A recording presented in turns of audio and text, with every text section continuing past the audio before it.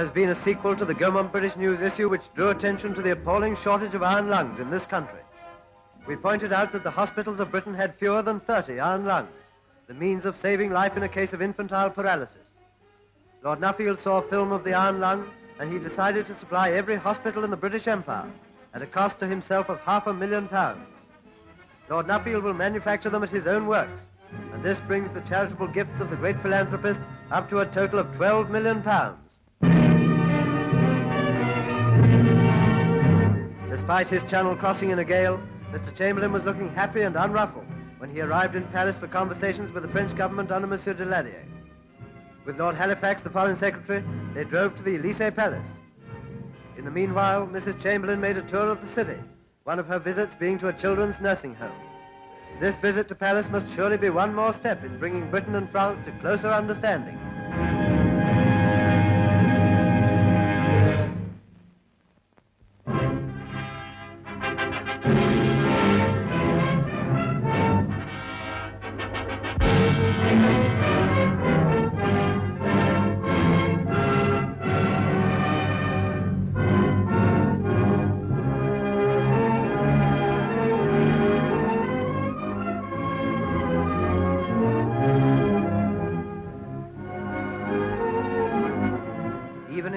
Of aeroplanes, a nation's lifeblood flows through the channels of the sea. If her ports are blockaded, the strongest must eventually bow to the invader. We have shown how France is protected by her natural mountain ranges and her man-made Maginot Line, but these steel guardians of her shores must be competent in wartime to ensure food and other supplies from abroad.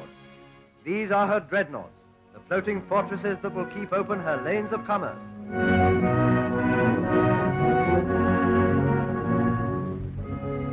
Quadruple gun turrets forward. Dunkirk is the only battle cruiser in the world so armed. How does France protect her shipping? How does she keep open her ports and preserve communication with her colonies, Algeria, Senegal, Madagascar? Watch her fleet at exercises. Atlantic and Mediterranean squadrons march out to sea.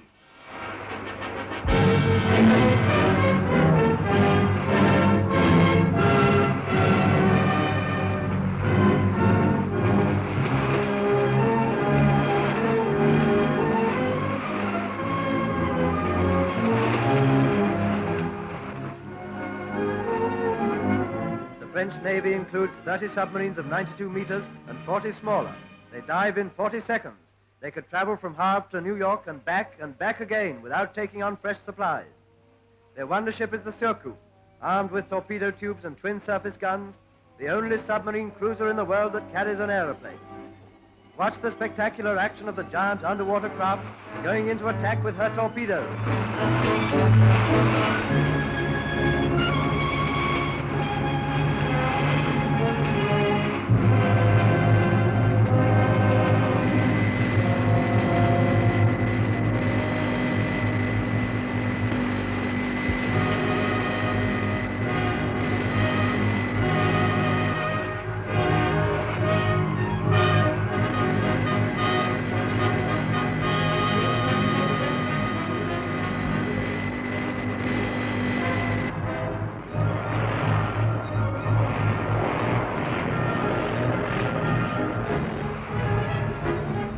Comes to the surface, and as the waters recede from her shiny back, she changes from submarine to surface fighter.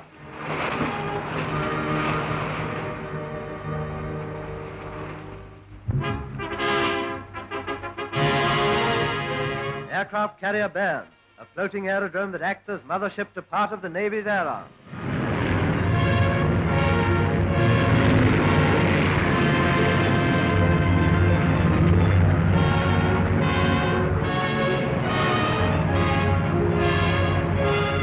From the water, a seaplane squadron takes off in formation.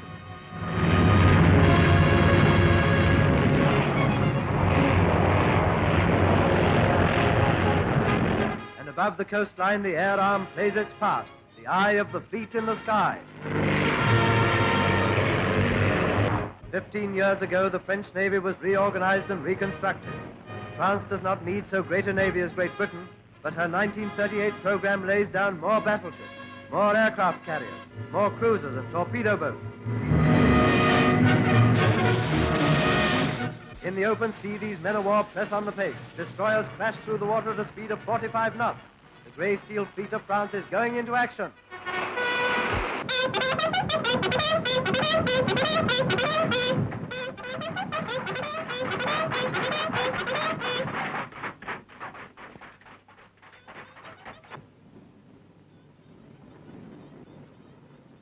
Action stations. Dignified and terrible, those gun turrets are swinging into the attack.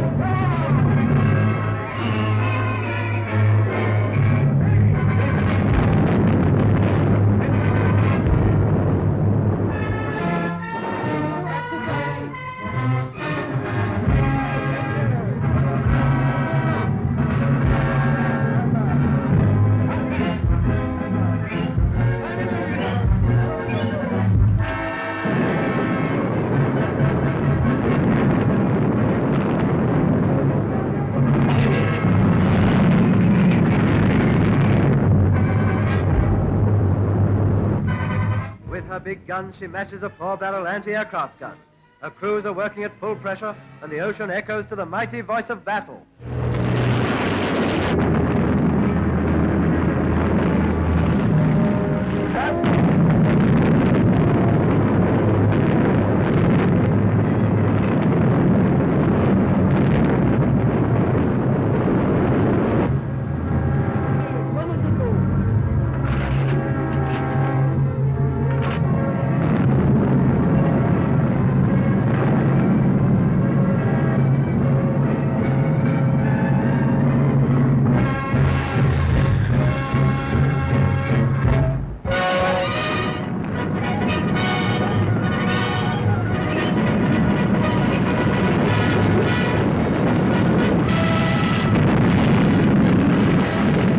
France is ready to play her part as the ally of Great Britain.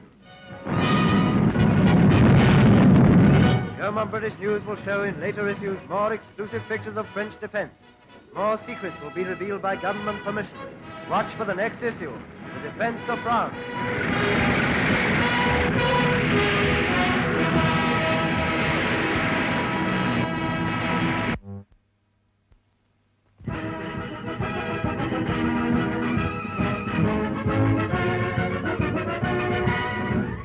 Is the Gaumont British News, presenting the world to the world.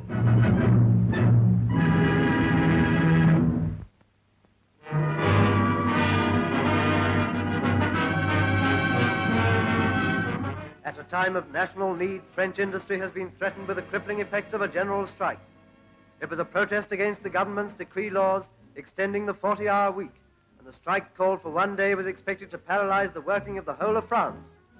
Monsieur de Daladier took immediate action. Republican guards were kept at their posts.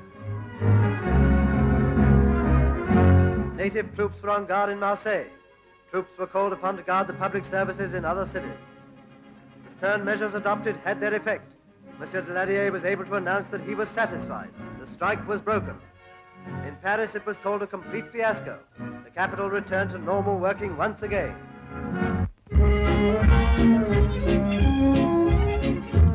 Can hardly claim that this is new. The Eton Wall game provides a picture that crops up once a year. They play it every St. Andrew's Day. But they haven't scored a goal for years and years, so we keep on filming it in the hope that one year they might. The goal at one end is a door, at the other a tree. And this year, Oppidan's won by three shies to none. But the chief interest in the game is not the shying, it's the herd of high-class young men getting very dirty in the mud and pushing each other about without very much else happening. And it is with this thought in our minds that we say farewell to sunny Eton.